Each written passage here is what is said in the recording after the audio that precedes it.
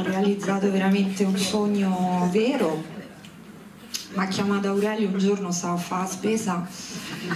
E no, veramente ho buttato il petto di pollo, l'ho lanciato e ho preso il taxi. Stavo dentro al taxi ho fatto questo percorso bellissimo perché Aurelio pensando che io abitassi ai Parioli al centro mi ha fatto do 10 minuti per venire ho detto io sto a prima porta ci metto, ci metto almeno un'ora per venire. Quindi prendo sto taxi faccio da prima porta dove, dove sono venuta insomma al centro e faccio sto, sto tragitto bellissimo. Ho pagato 45 euro da parte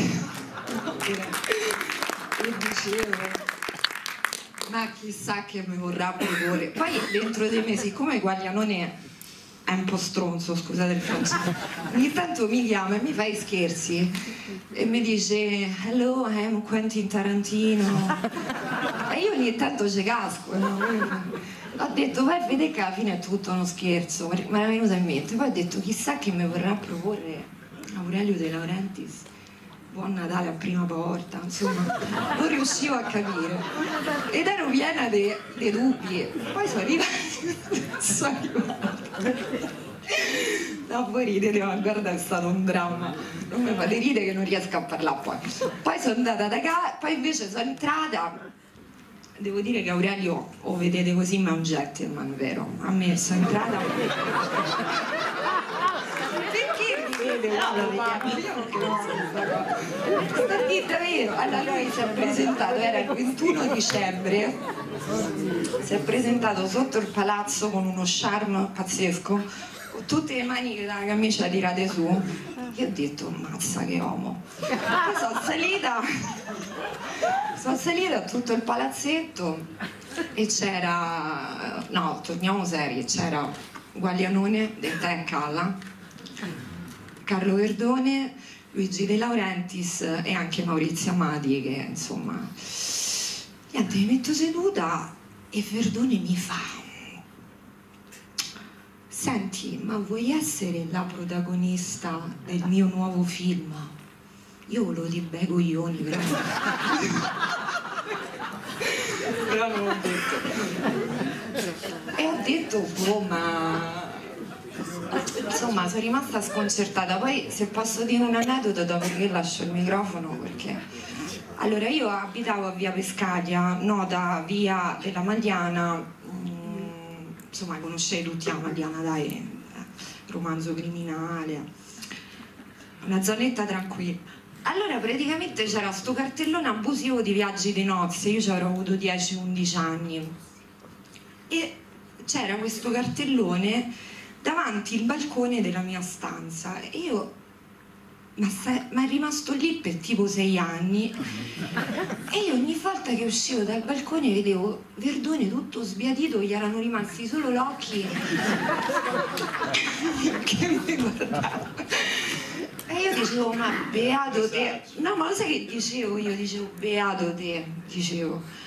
Perché comunque lo, veramente io so tutti i suoi voi non potete capire che è stato per me lavorare con lui. Io so tutte le sue battute a memoria dei film. Mi ha fatto compagnia in dei momenti che una dice mo me taglio le vene invece no mi guardo il film di Verdone e mi riprendo.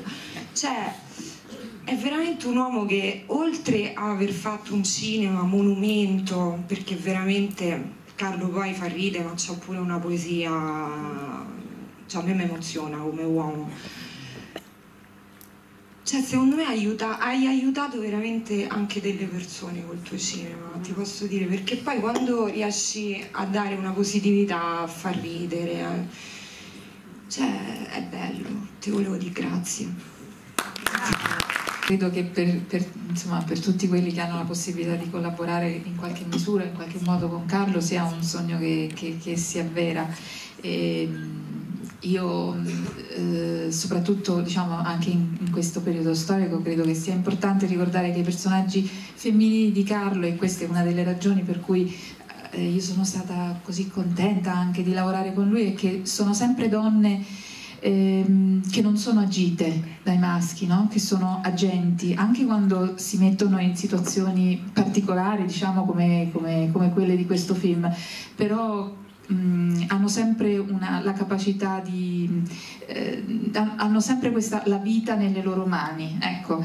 E, e anche in questo caso ehm, quando mi ha proposto questo ruolo dicendomi che per, nel, nella storia, nel suo film era, rappresentava la dolcezza, l'accoglienza di una, di una donna, eh, però poi l'ha affidata a una donna che fa un lavoro duro, che fa un lavoro forte, difficile, mal pagato, e che comunque riesce a mantenere equilibrio, sostanza, eh, sentimento, quindi eh, ecco, onore a lui e agli sceneggiatori che sono capaci di raccontare donne complesse e e, e con umanità.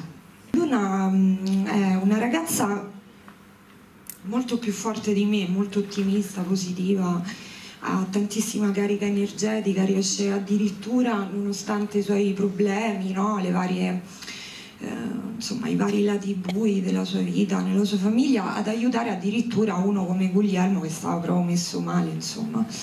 Però riesce in qualche modo a questa solarità dentro, a questo grande cuore, riesce a trascinare inizialmente questo personaggio a peso morto, perché lui era veramente depresso, e quindi lo butta a capofitto nel mondo social, che per Guglielmo era insomma, una cosa veramente improbabile e piano piano riesce in qualche modo a rimetterlo in pista. Lei, come tutti i personaggi che ha scritto Carlo in tutti questi anni, ma anche come ha scritto Nicola Guaglianone e Menotti, che Guaglianone sta sempre in mezzo quando mi riguarda a me, cioè, eh, insomma, però riesce riescono, secondo me il connubio tra Guaglianoni, Menotti e Verdoni è una bomba atomica perché riescono ad esaltare tantissimo le donne e, insomma non è, io credo di non aver fatto la coatta scritta dal Pariolo, no? cioè una, una coatta piena di cliché che poi neanche esistono. Credo di aver fatto un personaggio bello perché era vero e versatile. Io credo che eh, i personaggi mm, questo, di Carlo sono sempre belli perché hanno varie sfaccettature e quindi è quello che li rende vere. L'una è poi provocatoria si veste un po' strana, eh, tutta scosciata, provoca, addirittura forse esagera anche nel modo di parlare.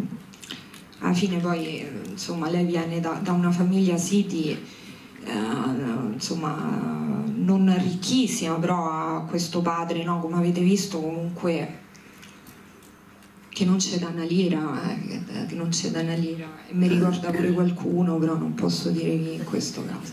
Hai parlato all'inizio in modo molto così veloce e superficiale del fatto che nel film ci possa essere qualche messaggio. Io ho trovato, sempre sulle ali, come si dice in questi casi, della commedia, un messaggio molto chiaro che è quello un po' del pregiudizio ed è quello di non aspettarsi ovviamente aiuto, sostegno e in alcuni casi anche salvezza, possiamo dire da persone uguali a noi che appartengono al nostro mondo, anzi, ma da persone in contrasto insomma, con il nostro mondo, come diceva prima Verdone. Quindi volevo chiedere se, se questo aspetto è stato colto solo da me oppure se c'è realmente nel film e cosa ne pensano soprattutto le due attrici, eh, visto Maria Pia Calzone che viene anche da Sirene, quindi è una cosa talmente diversa dal nostro mondo. Ehm sì, eh, assolutamente sì, è, è, è, una nota, è, una nota, del film. Io mh, mm, eh, credo che l'aspetto, cioè che la commedia sia sempre um, salvezza e, e, lo dimostra quello che ha detto Ilenia, no? quindi che cosa è stata la commedia a volte su di lei. E, e la commedia a volte ci dimostra che, che, la salvezza può venire da qualsiasi parte, da qualsiasi angolo, invece noi siamo abituati uh, a ragionare per categorie, e, per gruppi e, questo è quello che, che assolutamente racconta il film. Piano era un signore borghese, quindi completamente diverso da Luna e Luna invece era una ragazza di borgata, quindi sicuramente appartenevano a due mondi diversi e questo crea un bel contrasto che poi dove nasce sia il dramma sia una comicità poi anche, no? Sto bene. No, non ho capito la domanda. Il contrasto che spesso I contrasti, i contrasti i contrasti portano a delle, delle soluzioni inaspettate, più positive piuttosto che a, a- se due invece sono alla pari, sono uguali. Cioè, vedi, un'infermiera con uno che lavora una cosa, il rapporto tra me e te che segue una ragazza di, di periferia, io che sono uno tutto valutato, un mondo vaticano, eccetera. Poi in realtà l'amicizia o i sentimenti o l'affetto, l'amore è più, è più- sembra strano ma è, è più facile che sorga quando ci sono questi contrasti piuttosto che tra pari, tra un altro borghese come me, capito ti voglio dire? Va bene così. certo. Eh lo so. Il fatto di poter tornare a lavorare con delle donne che sono sempre stati i film a me più congeniali, insomma pensate a io e mia sorella, a Maledetto il giorno, a Perdiamoci di vista, L'amore eterno finché dura, con la Gerini, Risblonde, Viaggi di nozze e compagnia bella. Insomma, alla fine venendo da due film come Posti in piedi in paradiso e L'abbiamo fatta grossa, mi, mi- mi intrigava poter esplorare questo universo femminile, soprattutto in un momento come questo, il momento delle- de- diciamo così, di, di grande smarrimento della, della società dove siamo tutti pieni di problemi, dove, dove c'era un po' un- anche una strizzata d'o- d'occhio ai rapporti, alle relazioni nate nelle applicazioni. Quindi ho trovato questi- che questa era un'idea che si poteva sviluppare bene. Mi sono trovato molto bene con questa idea, ho cercato di, come al solito, di esaltare, di fare il possibile, di esaltare al massimo le mie, le mie attrici. Ho avuto accanto una ragazza eh, straordinaria che è Ilenia, che ha dato tutto se stessa, tutta se stessa, con molta naturalezza, con molta verità. Ho avuto Maria Pia, Calzone accanto, ne ho, avute- ho avuto veramente eh, Lucrezia Lante della Rovere Paola Minaccioni che sono impegnate in spettacoli teatrali, quindi non si scusano, ringraziano, ma non so potete venire. Insomma, mi sono trovato molto bene, ecco, insomma, è le- la mia condizione ide- ideale, quella di essere in un angolo di un ring menato. Ti hanno menato un po' anche nel convincerti a fare le scene di ballo, eccetera, perché quelle Beh, là è stata, diciamo così, un'idea chiaramente di, di di Nicola Guaglianone e Menotti perché a me sinceramente non sarebbe mai venuto in mente. Io sono sempre stato attaccato molto al reale, al realistico, quindi un volo pindarico così non mi sarebbe mai venuto in mente di farlo. Loro hanno insistito. eh, convincendomi che forse era arrivato il momento anche di azzardare, di uscire fuori, insomma di, di- di- di- dare slancio un po' a una certa creatività. E allora alla fine mi sono convinto, mi sono preso un giorno per rifletterci e ho detto speriamo di essere capaci a fare una cosa decente, ma poi certamente con un aiuto come quello di Luca Tomassini eh, insomma è stato, è stato tutto, tutto più semplice, tutto più facile. E il gran merito è suo, c'è poco da fare, la coreografia è sua. Abbiamo lavorato in modo molto particolare, per me è stato una sorta di shock perché poi mi sono trovato davanti a Carlo che non conoscevo personalmente, la prima volta che lavoriamo insieme e, e mi ha chiesto appunto di, di- di inventare anche tutte le, le situazioni eh, coreografiche, quindi è stata una grande responsabilità ma soprattutto mi ha minacciato perché mi ha detto non deve essere l'ultima scena che giro della mia vita perché e giustamente ho detto io non ho mai ballato Ehm, in realtà invece attingendo da tutta quella storia che io conosco di, di Carlo Verdone come tutti noi no? come pubblico come, come fan poi ehm, in realtà lì dentro ci ho buttato un po' tutto quello che, che- che mi ispirava proprio Carlo Verdone e lì dentro c'è un po' tutta questa storia abbiamo trattato questa scena in un modo molto hollywoodiano perché abbiamo fatto degli storyboard, abbiamo fatto degli studi, ce lo siamo disegnato, scritto. Io ho fatto tante proposte a Carlo perché ho detto Carlo ti propongo tante scene, tante possibilità e scegli poi. Quindi c'era questo menù molto vasto, è stato Carlo poi che ha scelto eh, le scene da sviluppare. Ci siamo molto divertiti con i costumi, c'è stata veramente una follia eh, libera, una testa libera per tutti noi, ci siamo veramente buttati dentro questa fantasia. E ci sono dei richiami eh, storici a tanti film eh, a tanti musical, addirittura a Falqui, che era un desiderio anche di Carlo, questi, questi, mondi anche un po' quasi anni 60, questi, questo sapore un po' anni 60. E poi è stato bello la scoperta con Carlo proprio di, di vedere Carlo dentro a questi mondi, quello che, che è successo poi che abbiamo girato veramente ore e ore e ore, potremmo montare un musical su questo balletto, abbiamo girato per ore, ci sono tante cose, addirittura non riusciamo a fermarlo Carlo sul set. Eh, perché all'inizio aveva timore e poi dopo con la musica. mi piaceva eh. perché mi trovavo a muovermi per la prima volta dico oh so ballare. Io non ho mai ballato in vita mia. È stato molto bello scoprirlo quasi ragazzino insomma è stato molto emozionante. Volevo arrivare al termine del film raggiungendo un momento di grande pacatezza che ci fosse un grosso abbraccio che si danno i protagonisti del film, ma darlo anche al pubblico in qualche modo.